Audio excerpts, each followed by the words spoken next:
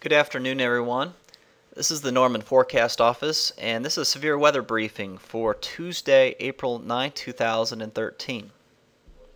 So you can see from this depiction of the Storm Prediction Center's forecast that much of Oklahoma and North Texas is under a slight risk of four severe thunderstorms. And you can see this hatched area from about Wichita Falls to Oklahoma City to Ponca City is where it kind of having perhaps the most severe storm reports are expected for tomorrow on Tuesday, April 9th. And in this hatched area, we're kind of looking for risk of very large hail up to the size of baseballs winds over 65, maybe 70 miles an hour, as well as some tornadoes. Kind of see from this graphic, so we kind of hone in on it. The best coverage of storms going to be mainly across much of Oklahoma and maybe include far western North Texas, including Wichita Falls. But Oklahoma cities included, Lawton, Ponca City, Stillwater, Woodward, Clinton, this is the best chance for severe storms, mainly between 1 p.m. and midnight. The main threats are going to be hail the size of baseballs, wind gust up to 80 miles an hour, and perhaps even a few tornadoes. It appears that first storms will probably develop along and ahead of this dry line across western and southwestern Oklahoma and perhaps western North Texas, which if this occurs, these supercell thunderstorms would move northeast and produce would be the most dangerous type of storm with a very large hail and perhaps even tornado risk. As this cold front quickly moves south during the evening hours, it'll overtake the dry line, so all the storms will form into a line, a squall line, that would bring perhaps more widespread severe reports, but probably not as severe, with hail maybe up to the size of golf balls and winds about 70 miles an hour. Heading into Tuesday night and Wednesday morning, that cold front's going to quickly move south through the area. Be a lingering threat for severe weather across southern Oklahoma and southeast Oklahoma, where there could be quarter to golf ball size hail and winds up to 70 miles an hour between midnight and 7 a.m.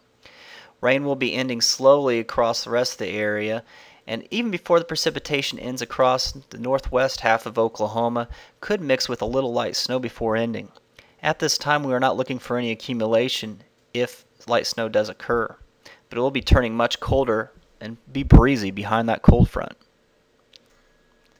Here's the potential rainfall Tuesday and Wednesday across Oklahoma and west north Texas. You can generally see between a half of an inch and maybe up to almost two inches across the area. With the heaviest rainfall maybe across near Oklahoma City and Stillwater up toward Ponca City and Tulsa.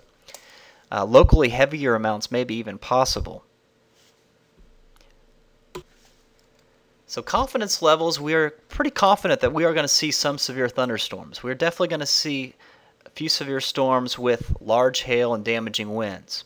There's just a lot of moisture, a lot of instability, and strong shear. The combination of all these elements definitely allow the is very favorable for us to have severe thunderstorms.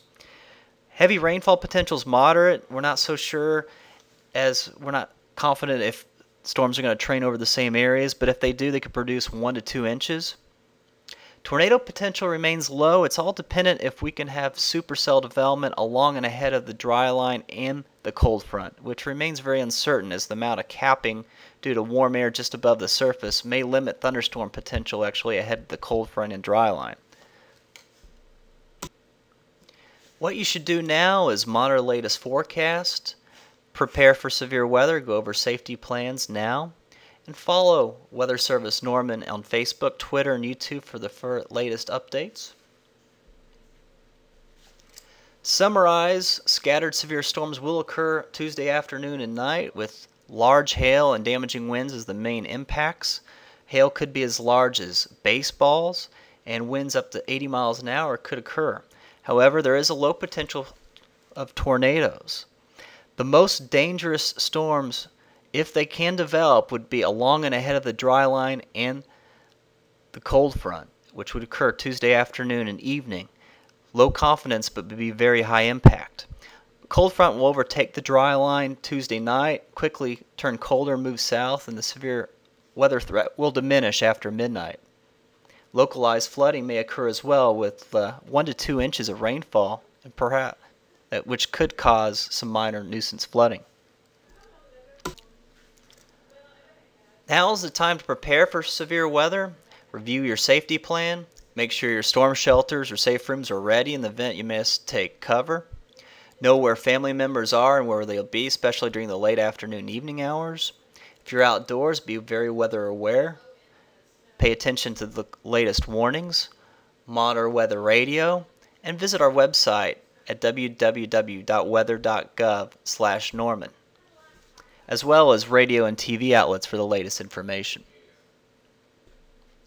Also, you can follow us on Facebook and Twitter, as well as YouTube.